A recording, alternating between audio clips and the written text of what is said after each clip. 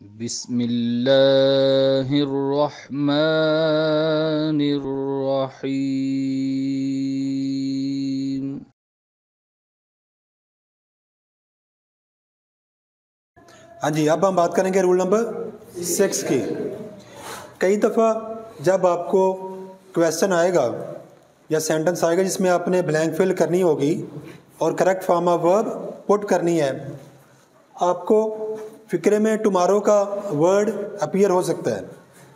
Tomorrow जैसा कि आपको पता होगा कि फ्यूचर को ज़ाहिर करता है। ऐसा वक्त जो अभी आना है। तो फ्यूचर के लिए विल या शेल लगता है। तो अब यहाँ पे देखें विल कितनों के पास साथ है? एक ही ऑप्शन के साथ। तो विल प्लस फ़र्स्ट फॉर्म ये ज़ाहिर करता है। फ्यूचर इनडेफिनेट या फ्यूचर सिंपल भी कहते हैं इसको। तो यहाँ पर ये हम पुट करेंगे क्योंकि इसमें फ्यूचर की इंडिकेशन है विल आया हुआ है। हाँ जी, अब हम बात करते हैं रूल नंबर सेवन की। कई दफ़ा आपको दिए गए सेंटेंस में एक क्लू मिलेगा या निशानी मिलेगी कि यहाँ पर आपकी प्रपोजिशन होगी एफ़ ओ आर फो या सिंस ठीक है? इस फ़िक्र को आप पढ़ सकते हैं he books for many years या ही बुक्स सिंस मंडे अब यहाँ पे क्लू आपका है कि ये प्रपोजिशन आई है और इसके बाद वक्त आया हुआ है ड्यूरेशन आई हुई है या स्टार्टिंग पॉइंट यानी नुक्ता आगाज़ आया हुआ है। ठीक है? तो जब आपकी प्रपोजिशन फोर या सिंस के बाद मुद्दत ड्यूरेशन या नुक्ता आगाज़ दिया हो वक्त दिया हो। फिर आपने क्या करना होता है? कि आपके तीन ऑप्शंस हो सकते हैं? हैज़ हैव या हैड में से कोई एक plus B double E N been plus fourth form यानी आई एन जी वाली फॉर्म आपने पुट करनी होती है। तो यहाँ पर ऑप्शन आपका क्या होगा?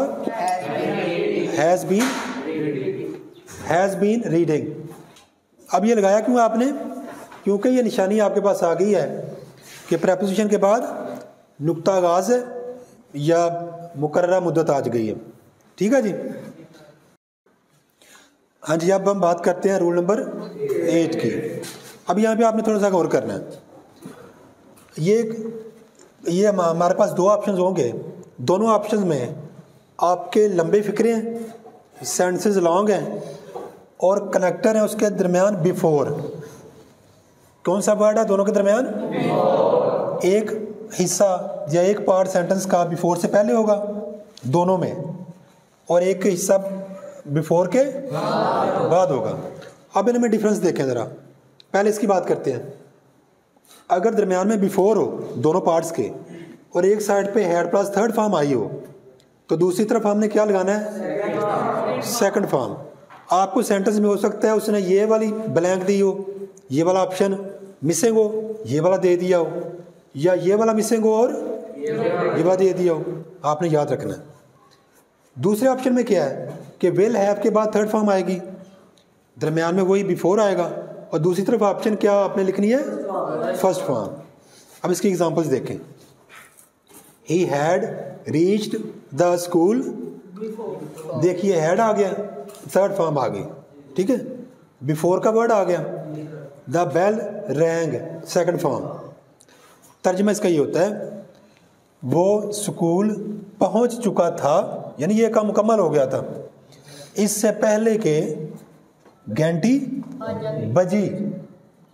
इससे पहले कि घंटी बजी, वो स्कूल पहुँच चुका था। या इसको मज़ीद आप ये कह सकते हैं कि घंटी बजने से पहले वो स्कूल पहुँच चुका था। तो ये स्ट्रक्चर आपने याद रखना है। हेड प्लस थर्ड फॉर्म दोनों के दरमियान कनेक्टर है बिफोर और दूसरे पार्ट में सेकंड फॉर्म अब यहाँ पे देखिए will have plus third form he will have reached अब विल हमें बता रहा है कि ये काम अभी मुकम्मल नहीं हुआ। अभी ये होगा फ्यूचर में। वो पहुँच चुका होगा। बिफोर इससे पहले के the peon rings the bell. चपरासी घंटी बजाता है। वो स्कूल पहुँच चुका होगा चपरासी के घंटी बजाने से पहले। यहाँ पे ये काम मुकम्मल हो चुका है। यहाँ पे काम मुकम्मल होना है अभी। फ्यूचर में होना है। Had plus third form second form he had reached the school before the bell ran और he will have reached the school before the peon rings the bell यहाँ पे फॉर्म कौन सी है? सेकंड फॉर्म आएगी तो आपने हैड तब प्लस थर्ड फॉर्म लगाना है। और फ़र्स्ट फॉर्म आएगी, ये फ़र्स्ट फॉर्म के साथ एस है ना? तो फ़र्स्ट फॉर्म आएगी तो आपने क्या लगाना है? Will have plus third form ठीक हो गया जी? और आपको वो मिसिंग लेटर आपका पहले पार्ट में से भी हो सकता है सेंटेंस के, या सेकंड में से भी हो सकता है। आपने ये स्ट्रक्चर याद रखना है। हेड प्लस थर्ड फॉर्म दरमियान में बिफोर दोनों पार्ट्स के सेकंड फॉर्म और will have plus third form दरमियान में बिफोर और दूसरी तरफ़ फ़र्स्ट फॉर्म हाँ जी रूल नंबर नाइन अब हम इसमें पढ़ेंगे कंडीशनल सेंटेंसेस और कंडीशनल सेंटेंसेस को उर्दू में हम कहते हैं शर्तिया फ़िक्रे। शर्तिया फ़िक्रों की बेसिकली तीन टाइप्स हैं। शर्तिया फ़िक्रों की कितनी टाइप्स हैं? तीन। उसकी निशानी है कि फ़िक्रे में इंग्लिश में इफ़ आया होता है। इफ़ आया होता है। अब टाइप वन यानी पहली किस्म, इसकी कंडीशनल सेंटेंसेस की ये है कि ये भी एक लंबा सेंटेंस होगा। और पहले पार्ट में या एक पार्ट में ये पार्ट बाद में भी आ सकता है इफ़ वाला। इफ़ वाले पार्ट में इफ़ के बाद सब्जेक्ट होगा सब्जेक्ट जारी बात होगा। और इफ़ की साइड पर आपने लगानी है फ़र्स्ट फॉर्म टाइप वन में। कौन सी फॉर्म होती है इफ़ के साथ? फ़र्स्ट फॉर्म और दूसरी साइड पे, यानी दूसरे पार्ट में, इस लॉन्ग सेंटेंस के सब्जेक्ट के बाद वेल या शेल लगाना है आपने। उसके बाद वर्ब की कौन सी फॉर्म लगानी है? फ़र्स्ट फॉर्म देखिए इफ़ ही सपोर्ट्स ये फ़र्स्ट फॉर्म के साथ ऐसा लग गया क्योंकि यहाँ पे ही आया हुआ है। कॉमा ये वाला आई शेल ग्रेजुएट ठीक है जी? आपने ये स्ट्रक्चर याद रखना है। आपने गलती से भी इफ़ की साइड पे विल इस्तेमाल नहीं करना। क्योंकि इंग्लिश में जिस भी सेंटेंस में या क्लॉज में क्लॉज होती है लंबे सेंटेंस का एक पार्ट जिसका अपना सब्जेक्ट और वर्ब होता है। किसी भी क्लॉज में अगर या सेंटेंस में एफ़ आ गया है तो उस पार्ट में आपने विल या शेल का वर्ड इस्तेमाल नहीं करना होता। ये इंग्लिश में जहाँ भी आप यूज़ कर रहे होते हैं। ठीक है? तो यहाँ पे फ़र्स्ट फॉर्म आ गई है he supports me I shall graduate अगर वो मेरी मदद करेगा तो मैं ग्रेजुएट हो जाऊँगा। अब इसकी टाइप टू देखते हैं। हाँ जी, ये टाइप टू है कंडीशनल सेंटेंसेस की। अब इसमें और इसमें डिफरेंस क्या है? सिर्फ़ फ़र्स्ट फॉर्म की जगह पे आपने यहाँ पे सेकंड फॉर्म पुट करनी होती है जबकि दूसरी तरफ़ शैल या वेल की बजाय वुड इस्तेमाल होता है, जबकि फॉर्म हमेशा फ़र्स्ट ही रहती है। अब ये भी है शर्ती लेकिन ये शर्त पूरी होने के चांसेस ज़्यादा होते हैं और ये शर्त पूरी होने के चांसेस कम हो जाते हैं। इसको सेकंड फॉर्म में यूज़ की यहाँ पे वुड यूज़ कर लिया विल शेल की बजाय। तो इसका तर्ज, तर्जमा यूँ बनता है इफ़ ही सपोर्टेड मी अगर उसने मेरी मदद की यहाँ पे है, अगर वो मेरी मदद करेगा तो मैं ग्रेजुएट कर जाऊँगा। यहाँ पे अगर उसने मेरी मदद की तो मैं ग्रेजुएट कर जाऊँगा। अब मैं लिखता हूँ इसकी टाइप थ्री हाँ जी, ये है जी टाइप थ्री कंडीशनल सेंटेंसेस की। अब देखिए कंपैरिजन करें।